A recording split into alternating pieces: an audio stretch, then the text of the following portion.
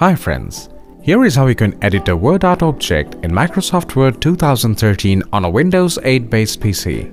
Open any Microsoft Word 2013 document. Go to the Insert tab. In the Text option, click Word art to open Word art menu. Insert the Word art object you want.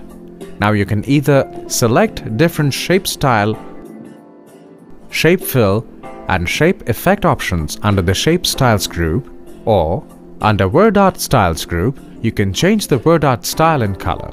You can also transform the word art object from the word art styles group or under text group you can set the text direction and align the text the way you want.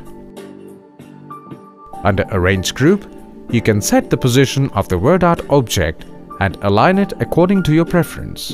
You can also rotate or flip the word art object. Wasn't that easy? Have a nice day.